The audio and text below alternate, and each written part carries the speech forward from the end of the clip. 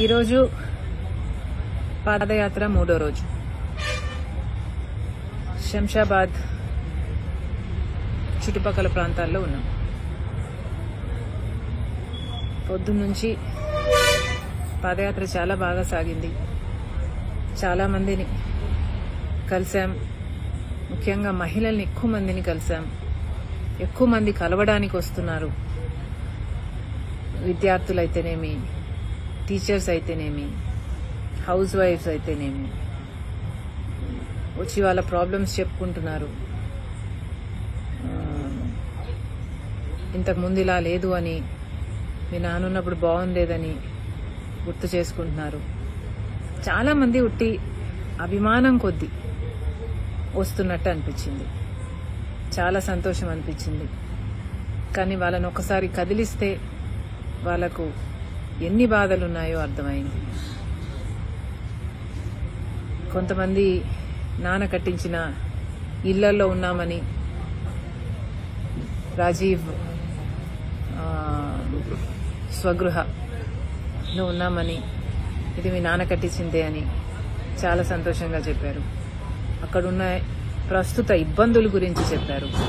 అక్కడ వాళ్ళకు water connection అయితేనేమి ప్రస్తుతం డ్రైనేజ్ ఎలా ఉంది అయితేనేమి వీటన్నిటి గురించి ప్రస్తావించారు. గవర్నమెంట్ ఉండి కూడా అసలు లేనట్టుగానే ప్రవర్తిస్తుంది. ఇది అసలు డెవలప్డ్ ప్లేసేనా అని అని క్వశ్చన్ మార్క్ అనిపించింది. ఈరోజు ముఖ్యంగా కదిలించిన విషయం ఒక నాలుగేండ్ల పసిబిడ్డ పాప తండ్రి తీసుకొచ్చి నా దగ్గరికి అమ్మ నా బిడ్డని నా బిడ్డపై అత్యాచారం చేసి ఒకడు రేప్ చేశాడు కేసు అయింది అని నా దగ్గర చెప్పుకుని ప్రస్తుతం చేసిన వాళ్ళే ఇంకా నా నన్ను బెదిరిస్తున్నారు అని బాధపడ్డాడు. ఈ లోపల వాళ్ళ అమ్మ ఇంకో బిడ్డతో వచ్చింది. ఇంకా వాళ్ళ అమ్మ వాళ్ళ అత్త చాలా చాలా ఏడ్చారు. పసిబిడ్డనమ్మా పసిబిడ్డనమ్మా ఇలా చేశారు అనేసరికి చాలా బాధేసింది. అసలు ఇది నాగరిక నాగరికత. అసలు ఎలాంటి సమాజంలో బ్రతుకుతున్నాం? రేప్ చేసిన వాడు యథేచ్ఛగా బలాదురుగా ఏ పని పాట లేకుండా తాగుతూ తిరిగేవాడు. అలాంటి వాడి అలాంటి వాళ్ళు చుట్టుపక్కల ఉన్నారు అంటేనే భయం. అలాంటి వాళ్ళను ఉన్నారు అని తెలిసి కూడా ఎవరూ ఏం చేయకుండా ఒకవేళ పోలీసులకు చెప్పినా వాళ్ళేం పట్టించుకోకుండా ఇంత నిర్లక్ష్యం ఎందుకు? అసలు ఆడవాళ్ళ రక్షణ గురించి కాదు. ఇక్కడ చిన్న పిల్లలు. ఆడపిల్లల రక్షణ గురించి ఇష్యూ. పట్టపగలు ఎలాగో ఆడవాళ్ళు తిరగాలంటే టీనేజర్స్ తిరగాలంటే ఎలాగో భయం వేస్తుంది. కానీ చిన్న పిల్లలకు కూడా రక్షణ లేదు అంటే నిజంగానే కేసీఆర్ గారు ఊరేసుకొని చచ్చిపోవాలి. ఈ కేసీఆర్ గారు ఏమన్నారు? ఆడవాళ్ళను కళ్ళెత్తి చూస్తే గుడ్లు పీకేస్తానన్నాడు ఒక టైంలో. మరి ఏమైంది? ఎన్ని గుడ్లు పీకారు కేసీఆర్ గారు? ఎంత అరికట్టారు?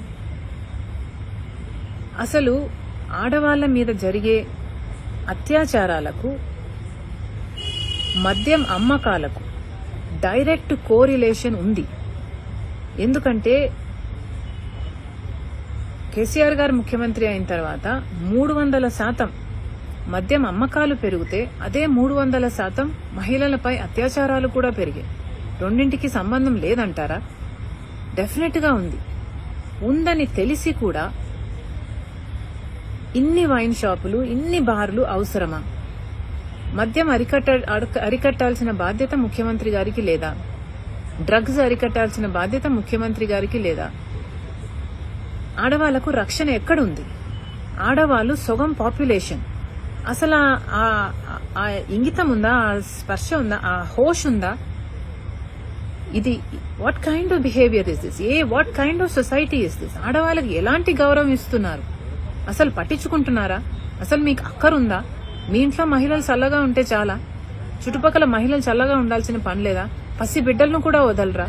పసి బిడ్డలు కూడా రేప్ అవుతుంటే అసలు మీరంతా బతికుండి ఏం చేస్తున్నారు? ఎందుకు మీకు పదవులు? ఎందుకు ఎందుకు మీరు అసలు ఎందుకు వై- ఈ సొసైటీనే తలదించుకోవాలి? చాలా బాధేసింది. ఒక టీనేజ్ బాయ్ ఒక టీనేజ్ బాయ్ స్కూల్ యూనిఫామ్లో ఉన్నాడు. ఆ అబ్బాయి వచ్చి ఈరోజు అన్నాడు అక్క మీరు ఆల్కహాల్ని అరికట్టండి. ఆల్కహాల్ వల్ల చాలా మంది చెడిపోతున్నారు. చాలా మంది పిల్లలు చెడిపోతున్నారు. ఆల్కహాల్ను అరికట్టండి అని నన్ను కోరాడు. అసలు ఆ అబ్బాయి అలా కోరడానికి కారణం ఏమిటి అని నేను ఒక క్షణం ఆలోచించి చూస్తే ఆ రిస్క్ ఎంతుంది అనేది అర్థమవుతుంది. అసలు మీరు మద్యాన్ని ఇంత అవైలబుల్గా చేస్తే అందరూ చెడిపోయే ఆస్కారం లేదా? చిన్న పిల్లలు కదా. వాళ్ళకి ఏం అర్థమవుతుంది? తెలిసి తెలియని వయసులో అన్ని ట్రై చేయాలనుకుంటారు. దానికి బానిసలైతే ఎవరు బాధ్యులు? ఇన్ని వైన్ షాపులు ఇన్ని బియర్ షాపులు అవసరమా? చాలా తప్పు దోవలో వెళ్తున్నాం. కేసీఆర్ గారు చాలా పొరపాటు చేస్తున్నారు. పిల్లల భవిష్యత్తుతో ఆడుకుంటున్నారు. చిన్న పిల్లలు కూడా ఈరోజు మానానికి ప్రాణానికి రక్షణ లేకుండా పోయింది. కేసీఆర్ గారు ఆలోచన ఆలోచన చేయాలి. ఇది డెఫినెట్గా బంగారు తెలంగాణ కాదు.